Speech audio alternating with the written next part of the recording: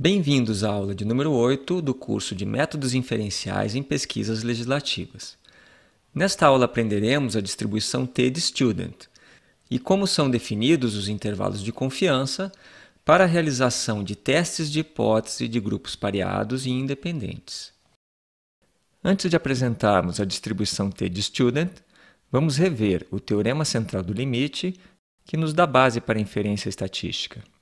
Se de uma população retirarmos diversas amostras com o mesmo tamanho n e calcularmos as respectivas médias amostrais, então esse conjunto de médias amostrais terá uma distribuição normal, cuja média é a média populacional e o desvio padrão é denominado erro padrão e é dado pela relação entre o desvio padrão populacional e raiz de n onde n é o tamanho das amostras. Como nós conhecemos o desvio padrão populacional, podemos calcular então o erro padrão e determinar o intervalo de confiança de 95% para esse caso, onde os 95% são determinados pelos quantis de menos 1,96 e mais 1,96.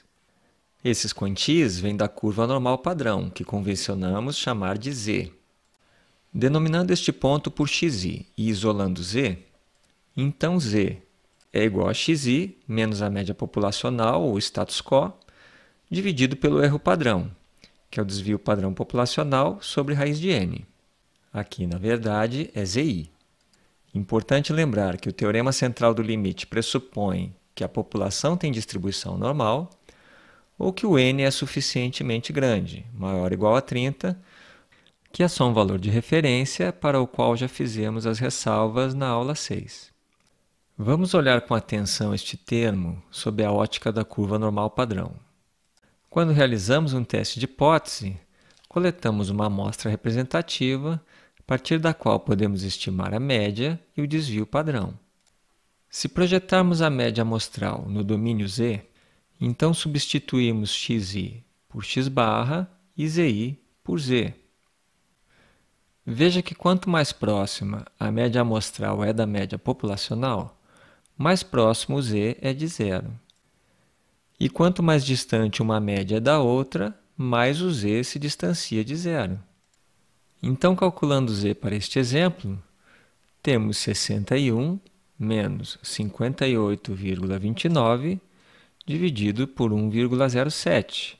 Encontramos z igual a 2,53 que está fora do intervalo de confiança de 95%, o que significa dizer que a média amostral está suficientemente distante da média populacional para que sejam consideradas estatisticamente diferentes, com um nível de significância de 5%. Esta relação é chamada estatística Z e pode ser usada para testar hipóteses quando essas condições forem atendidas. E quando nossas amostras não forem suficientemente grandes? Nesses casos, o erro padrão e os intervalos de confiança crescem a tal ponto que inviabilizam o teste de hipótese. Isso acontece por dois motivos. Em geral, não temos o desvio padrão populacional e precisamos utilizar o desvio padrão amostral para estimar o erro padrão. E o desvio padrão amostral é mais suscetível a erros quando n é pequeno. E como sabemos, quando n é pequeno, o erro padrão cresce. Além do fato de ser difícil conseguirmos uma amostra representativa da população com n pequeno. Foi para amostras pequenas, com distribuição normal, e para o caso em que desconhecemos o desvio padrão populacional, que William Seeley Gossett, em 1908, propôs a distribuição T, ou estatística T, William Gossett era químico da cervejaria Guinness, em Dublin, na Irlanda. E foi contratado devido à política da indústria Guinness, que recrutava os melhores graduados de Oxford e Cambridge para os cargos de bioquímico e estatístico.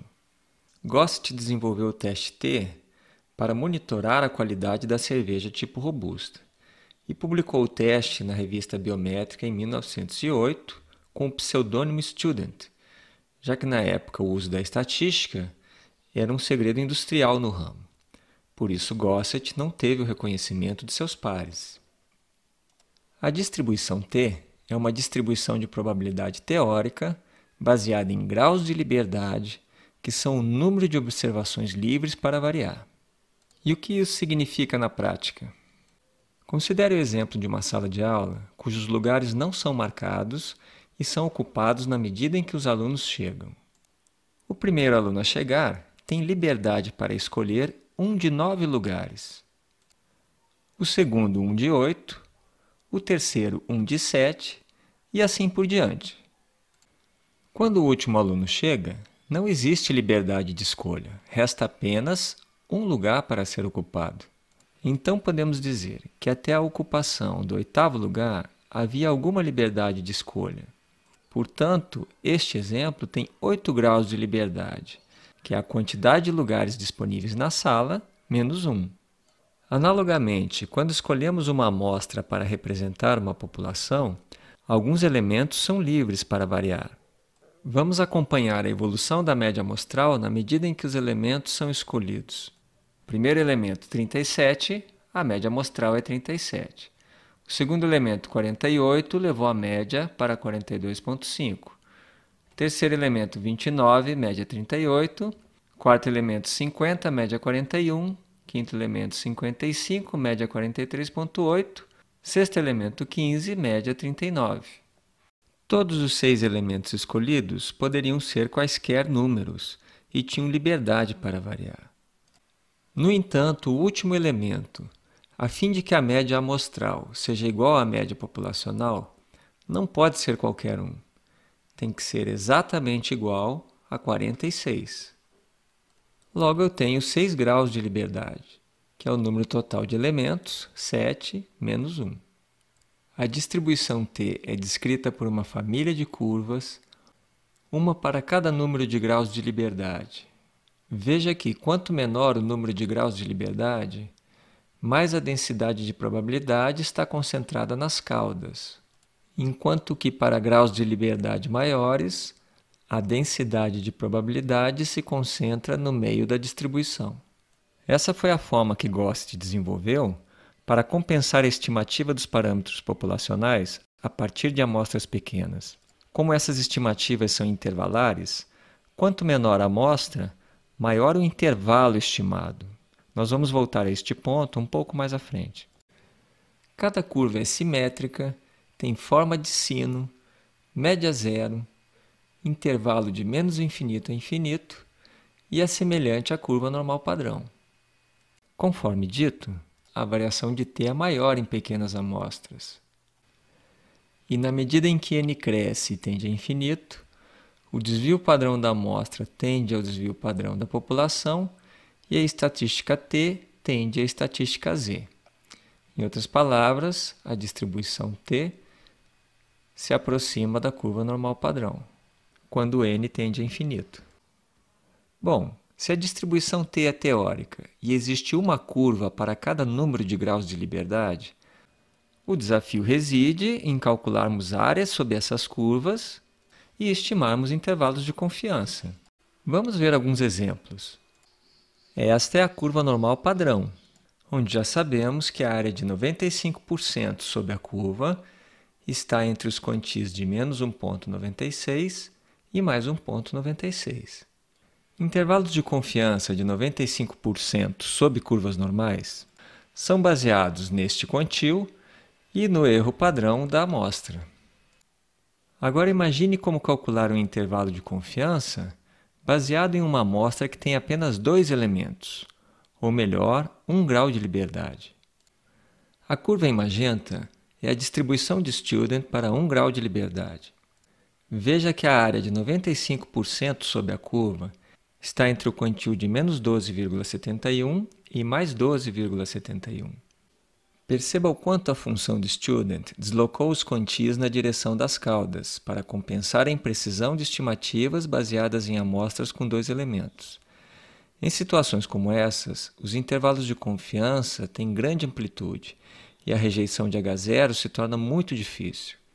Aqui também, O intervalo de confiança é determinado pelos quantis de 95% da curva de 1 grau de liberdade e pelo erro padrão, aqui determinado pelo desvio padrão da amostra, já que não conhecemos o desvio padrão populacional. O quantio 1.96 é a estatística Z, cuja área à esquerda é de 97,5%, uma vez que à direita temos 2,5% de área na cauda. De forma análoga, o quantio 12.71 é a estatística T, cuja área esquerda é de 97,5%, quando consideramos a distribuição T para 1 grau de liberdade. A curva em vermelho é a distribuição T para 5 graus de liberdade. Veja que os quantis estão se aproximando dos quantis da curva normal padrão e o intervalo de confiança segue a mesma lógica. Na curva verde, temos um último exemplo para 9 graus de liberdade. E como seriam os testes de hipótese utilizando a distribuição T? O que muda na realidade é a forma de calcularmos os intervalos de confiança, que no caso do teste T leva em consideração os quantis da curva de densidade de probabilidade respectiva aos graus de liberdade da amostra. Voltemos ao exemplo em que a população tem em média 58,29, ou status quo, e que a nossa amostra tem em média 61 e desvio padrão 18, só que neste caso um tamanho bem pequeno, n igual a 4. Quando estabelecemos um intervalo de confiança de 95%, a partir da média amostral, e utilizamos a função normal padrão para isso, temos um intervalo que varia de 43,36 a 78,63. O que define o intervalo são os quantis de 95% da curva normal padrão e o erro padrão. E para o caso da distribuição t? Primeiro temos que descobrir quais são os quantis de 95% para a curva cujo número de graus de liberdade é 3. Por hora, eu afirmo que esses quantis são menos 3,18 e mais 3,18. Daqui a pouco eu mostro como encontrá-los. Isso resulta num intervalo de confiança que vai de 32,35 a 89,64. Portanto, pela distribuição de Student, o intervalo de confiança é ampliado, de forma a compensar o baixo número de elementos na amostra. Na concepção de Gossett, eu posso fazer testes de hipótese com amostras pequenas que tenham distribuição normal. Contudo, há um preço a se pagar por isso. E esse preço é tão maior quanto menor for o tamanho da amostra. Neste segundo exemplo, o status quo foi alterado para 52 e o tamanho da amostra para 17. Com um nível de confiança de 95% a partir da curva normal padrão, o status quo fica fora do intervalo de confiança e por isso rejeitamos H0. Repetindo o exemplo para a curva de Student referente a 16 graus de liberdade, encontramos um novo intervalo de confiança que inclui o status quo, e, portanto, não temos evidências para rejeitar a hipótese nula. Para o teste T com duas amostras, o procedimento é o mesmo. Eu preciso encontrar os quantis que delimitam o nível de confiança do teste, nesse caso 95%, nas curvas T referentes aos graus de liberdade de cada amostra. Na primeira amostra temos 24 graus de liberdade e os quantis são menos 2,064 e mais 2,064. Na segunda amostra são 31 graus de liberdade e os quantis menos 2,04 e mais 2,04. Neste exemplo, nenhuma das médias está incluída no intervalo de confiança da outra amostra. Portanto, temos evidências para rejeitar H0 e concluímos que cada amostra pertence a uma população distinta. Vamos agora ver como encontrar os quantis das curvas de Student usando as funções disponíveis na linguagem R. O R dispõe de quatro funções para trabalharmos com a distribuição T que são semelhantes àquelas funções que utilizamos para trabalhar com a distribuição normal. A primeira função é a função QT, que nos retorna o quantil sob a curva dada uma determinada probabilidade. Então, o QT da probabilidade 97,5% para um tamanho de amostra 25, como vimos no slide anterior, ou seja, 25 menos 1 graus de liberdade, é dado por 2,063, ou, arredondando-se, 2,064. Para curvas normais, o equivalente é a função Q enorme, que para ponto 975, ou 97,5%, na curva normal padrão, com média zero e desvio padrão igual a 1, o quantil é o já conhecido 1.959, ou seja, 1.96. Vejam que as curvas Student são completamente definidas pelo número de graus de liberdade. Com um único parâmetro se define uma curva de Student. E as curvas normais são definidas por dois parâmetros, a média e o desvio padrão. É por esta razão que testes de hipótese baseados em distribuição normal ou em distribuição de student são ditos testes paramétricos. A função pt retorna a probabilidade de um determinado quantil, considerando-se a curva referente a um determinado número de graus de liberdade. Por exemplo, o quantil menos 2.26 para 9 graus de liberdade retorna 2,5%. O equivalente na curva normal é a função p-norme, cujo quantil menos 1,96 para média zero e desvio padrão 1 retorna também algo em torno de 2,5%. A função RT me retorna de forma aleatória n elementos sob a curva referente ao número de df graus de liberdade. Então, por exemplo, RT de 100 elementos para a curva com 20 graus de liberdade, vamos jogar esse resultado em x, me retorna 100 elementos. E a função de densidade de probabilidade, que é a função dt, me retorna a densidade para cada elemento x correspondente à curva para df graus de liberdade. Então, se pegarmos o vetor x que acabamos de gerar e aplicarmos na função dt, então a densidade de x para 20 graus de liberdade está em d. Veja que se fizermos o cruzamento das densidades com os respectivos x, temos o formato da curva de Student correspondente a 20 graus de liberdade. Vamos agora olhar a hipótese H0 sob uma outra perspectiva. Considerar que a média amostral é igual ao status quo ou média populacional é o mesmo que dizer que a diferença entre as médias amostral e populacional é igual a zero. Então, falhar em rejeitar H0 significa dizer que essa diferença não é grande o suficiente para que as médias sejam consideradas diferentes. Essa abordagem é conveniente quando efetuamos o teste de hipótese com base em funções de densidade de probabilidade que são centradas em zero, como é o caso da distribuição de Student.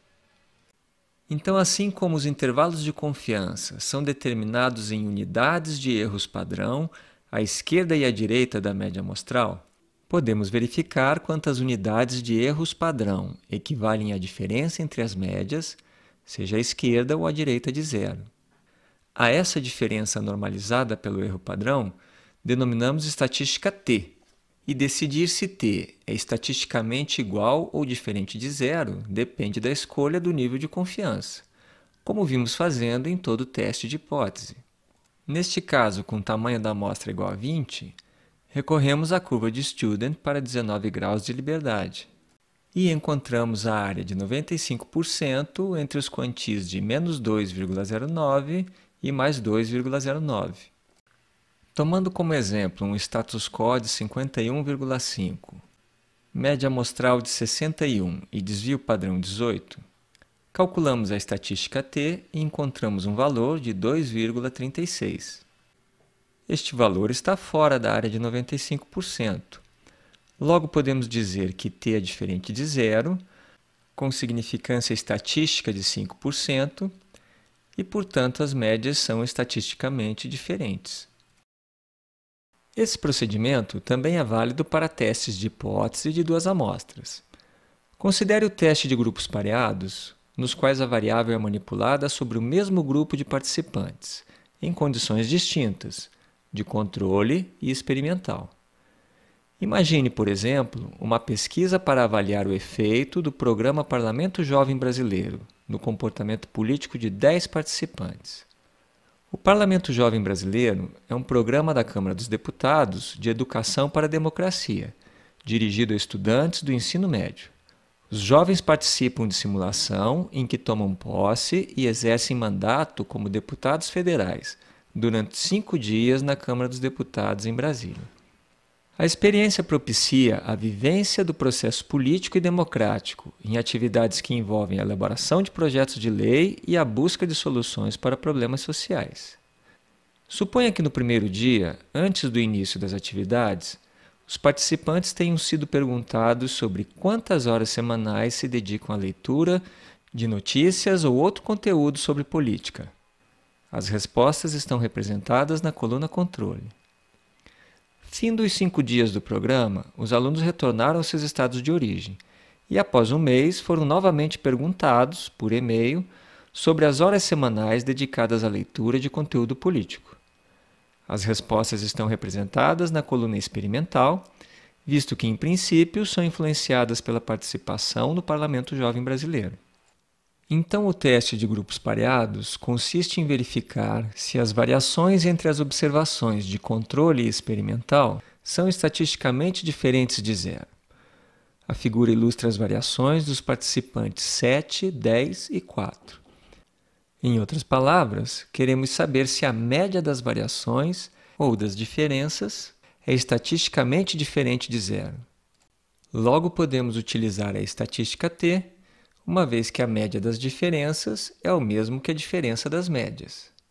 Calculando a diferença entre a média da amostra 1 e a da amostra 2, ou invertendo o sinal, e dividindo pelo erro padrão, baseado no desvio padrão das diferenças, encontramos o valor de menos 4,062, que está fora da área de 95% da curva de Student para 9 graus de liberdade.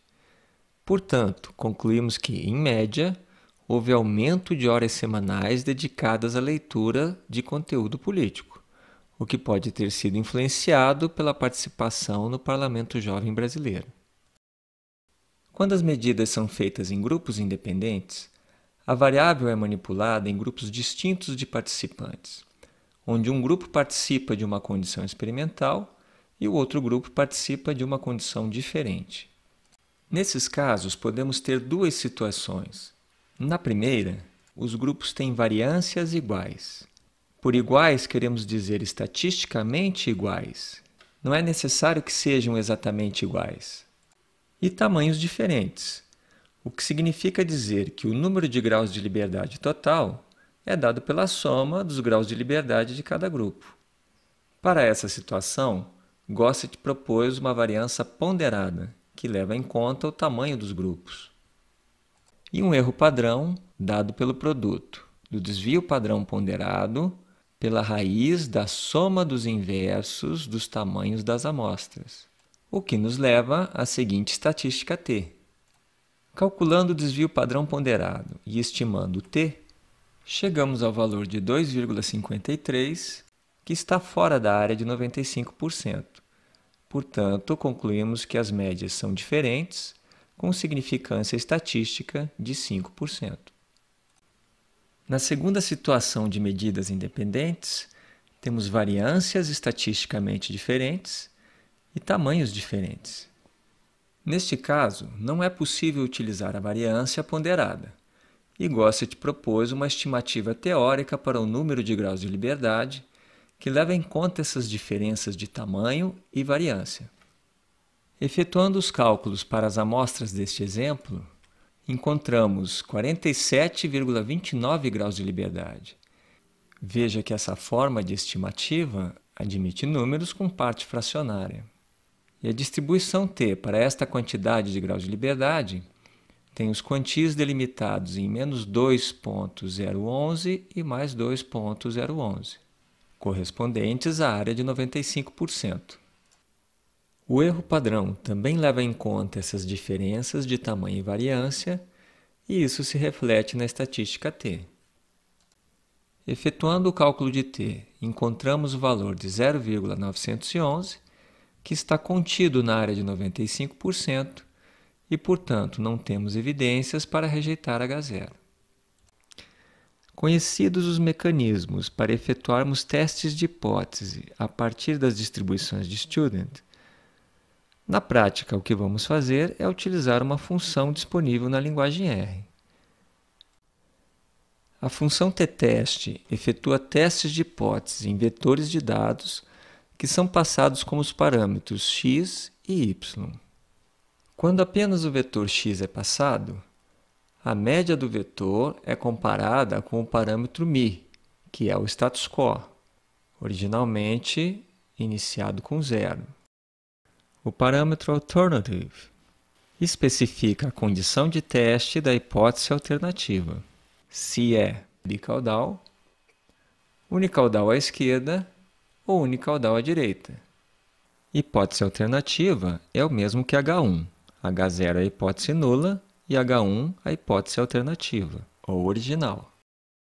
O parâmetro paired especifica se o teste é pareado ou é um teste de medidas independentes. E o parâmetro var_equal indica se o teste deve ser realizado considerando variâncias iguais ou diferentes. O parâmetro conf_level determina o nível de confiança do teste.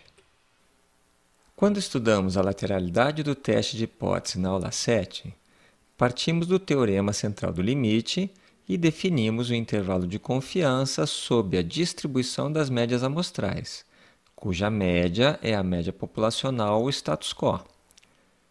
Neste exemplo, em que queremos saber se a média da amostra é maior que a média populacional, concentramos a região crítica do teste à direita da distribuição, o que denominamos lateralidade à direita. Isso é coerente com a estatística Z, que é dada pela diferença entre a média amostral e o status quo, dividida pelo erro padrão. Quando testamos se a média amostral é menor que o status quo, estamos testando se z é menor que zero e concentramos a região crítica à esquerda. Quando testamos se a média amostral é maior que o status quo, estamos testando se z é maior que zero e concentramos a região crítica à direita. Quando testamos se a média amostral é diferente do status quo, estamos testando se z é diferente de zero e dividimos a região crítica nas duas caudas. O mesmo é válido para a estatística T. Observe, por exemplo, que quando queremos testar se a média amostral é maior que o status quo, isso só vai ser significativo quando o T estiver dentro da região crítica, que fica toda concentrada à direita da distribuição. Em outras palavras, somente rejeitamos H0 quando a probabilidade de algo ser maior do que t, ou à direita de t, for menor que a probabilidade da região crítica, que é o alfa. Se t estiver na área azul, a probabilidade de algo ser maior do que t é maior que alfa. Então aceitamos H0 e rejeitamos H1. De forma análoga, quando testamos se a média amostral é menor do que o status quo, a região crítica fica concentrada à esquerda da distribuição e rejeitamos H0 quando a probabilidade de algo ser menor do que t é menor do que alfa. Por fim, quando testamos se a média amostral é diferente do status quo, verificamos se a probabilidade de algo ser maior do que t quando t é maior que zero somada à probabilidade de algo ser menor do que t quando t é menor que zero, é menor do que alfa, condição em que rejeitamos H0. Vamos ver essas situações na prática. Aqui vale destacar que a função t-teste estima o intervalo de confiança a partir da média da amostra e não a partir do status quo, como fizemos no exemplo da estatística Z. É importante termos isso em mente para compreendermos como são determinados os limites do intervalo de confiança. Inicialmente vamos testar um vetor com o status quo de 51.5. Carregando o status quo e o vetor, cuja média é 61 e o desvio padrão 18, rodamos a função t-teste informando como parâmetro o vetor e o status quo. Não é preciso configurar os demais parâmetros, porque não é um teste pareado, nem as variâncias são iguais, e vamos utilizar o intervalo de confiança de 95%. Rodando o teste, a função t-teste retorna este resultado, onde nós temos a estatística t calculada, o número de graus de liberdade informado e a probabilidade dessa estatística t nesta curva de 19 graus de liberdade. Verifiquem que a probabilidade é menor que 5%. E como o teste é bicaudal, é igual à soma das probabilidades dos valores maiores que t e menores que menos t. Podemos calcular o p-valor com o auxílio da função pt, passando como primeiro parâmetro o quantio 2.36 com 19 graus de liberdade e como queremos os valores maiores que 2.36 configuramos lower tail para false e encontramos 1,45%. Somando com a probabilidade dos valores menores que menos 2,36, ou seja, nesse caso, lower tail é true. É a mesma probabilidade, o que equivale a ser duas vezes qualquer uma dessas duas probabilidades. Encontramos 2,91%, que é exatamente o resultado estimado pela função t-teste. Em outras palavras, a estatística t de 2,36 está fora da área de 95%. Portanto, concluímos que a amostra não pertence à mesma população do status quo. Então aceitamos a hipótese alternativa, que diz que a média verdadeira, ou a média amostral, não é igual a 51,5, que é o status quo. E o intervalo de confiança, calculado a partir da média amostral, é dado pela média mais ou menos o quantil de 97,5% para 19 graus de liberdade, vezes o erro padrão, dado pelo desvio padrão, sobre a raiz do comprimento da amostra.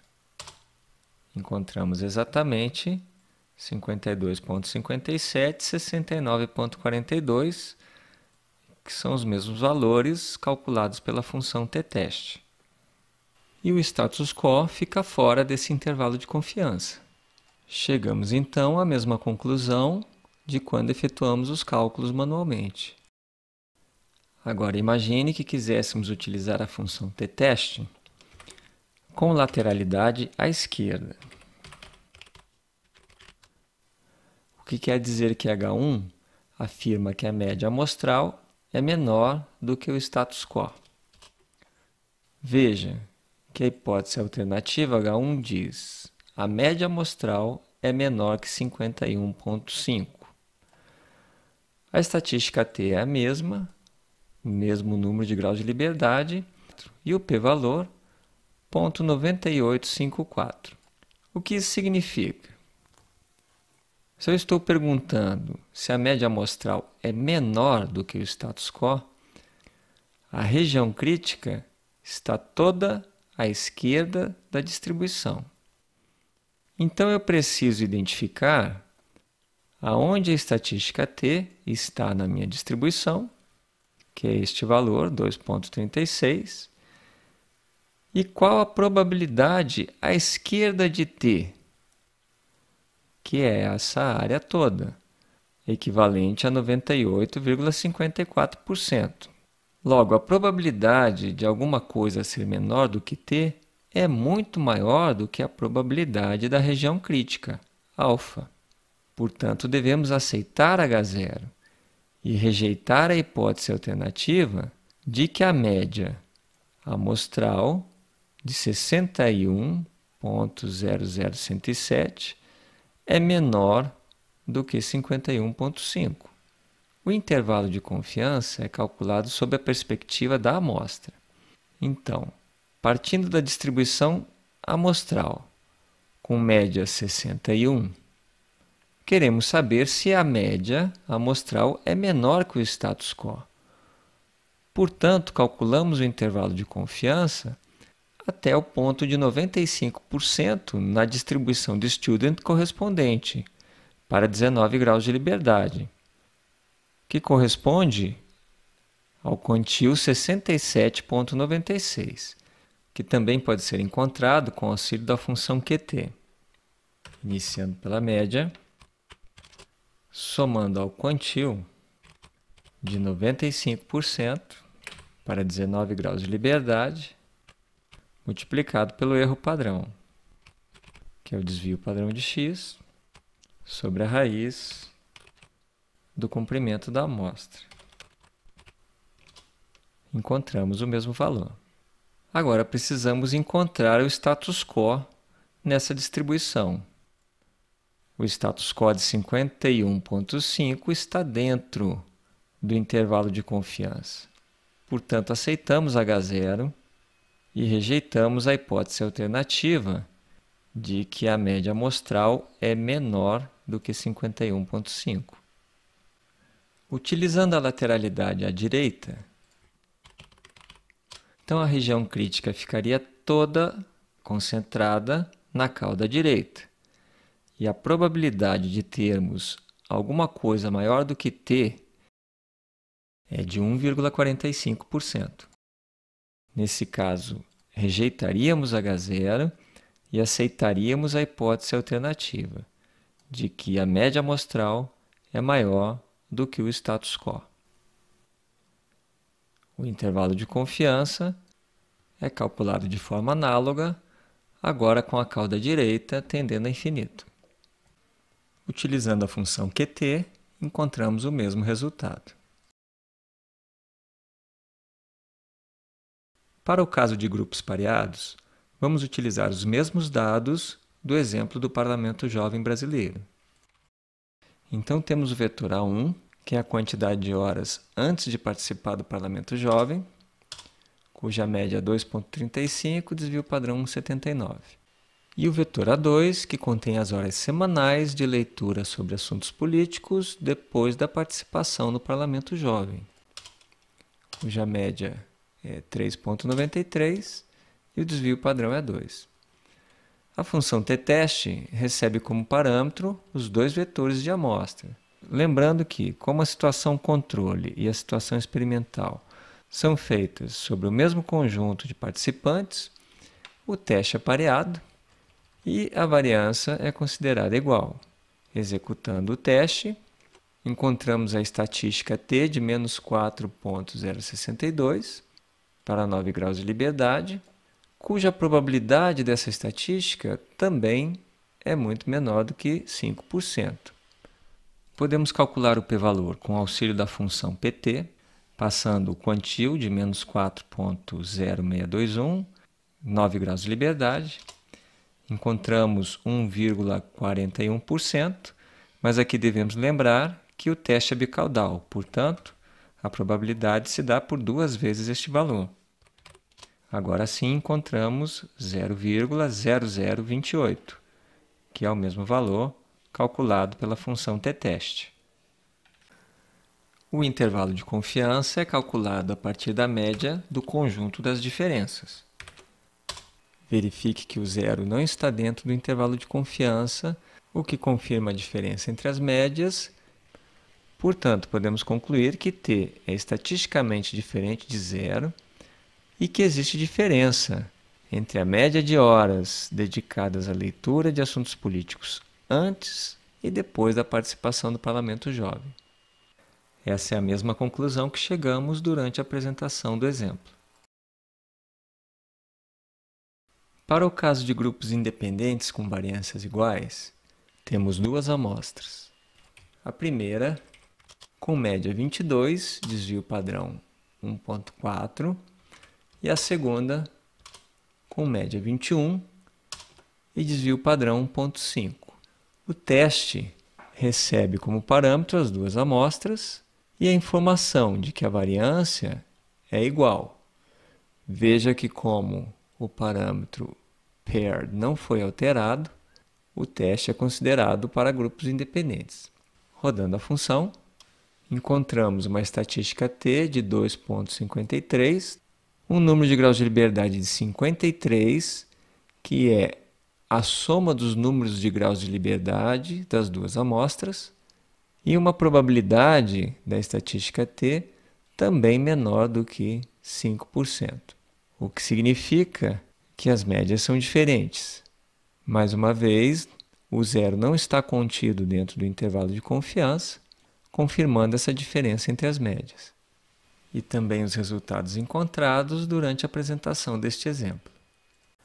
Apenas para ilustrar o cálculo do intervalo de confiança, Vamos calcular a média, o desvio padrão e o comprimento da amostra 1. E a média, o desvio padrão e o comprimento da amostra 2. Depois determinar a variância ponderada, o erro padrão com base na variância ponderada ou no desvio padrão ponderado e o intervalo de confiança a partir da diferença das médias e do quantil de 97,5% para 53 graus de liberdade achamos o intervalo de confiança idêntico ao que foi encontrado pela função t-teste. Por último, o teste de grupos independentes com variâncias diferentes. Carregando a amostra 1, cuja média é 22 e o desvio padrão é 1.3, e a amostra 2, cuja média é 21.5 e desvio padrão 2.7. Executamos a função tTest passando somente os vetores, visto que, por padrão, o parâmetro paired é falso e o var_equal também é falso. Executando a função, encontramos uma estatística t de 0,911 com 47,29 graus de liberdade, lembrando que nesse caso é aquela estimativa de graus de liberdade teórica, e a probabilidade da estatística T é maior do que 5%, o que significa que não há diferença entre as médias. Verifique que o zero agora está contido no intervalo de confiança. Mais uma vez, os resultados confirmam o que tínhamos encontrado anteriormente. Novamente estimando o intervalo de confiança, calculamos média desvio padrão e comprimento da amostra 1, média desvio padrão e comprimento da amostra 2, o erro padrão para amostras independentes com variâncias diferentes, o número de graus de liberdade teórico, aqui 47.29, e o intervalo de confiança a partir da diferença das médias, do quantil de 97,5% e do número de graus de liberdade encontrado. Achamos menos 0,60 a 1,60, que é exatamente o que a função t-teste havia estimado. Em resumo, sempre que encontrarmos uma probabilidade para a estatística t maior do que a significância escolhida, que nesse caso aqui é de 5%, então falhamos em rejeitar H0. Sempre que encontrarmos uma probabilidade menor do que a significância escolhida, nesse caso menor do que 5%, então temos evidências para rejeitar H0. Nesta aula aprendemos a realizar testes de hipótese de uma e duas amostras utilizando as distribuições T de Student. Obrigado pela atenção e até a próxima aula.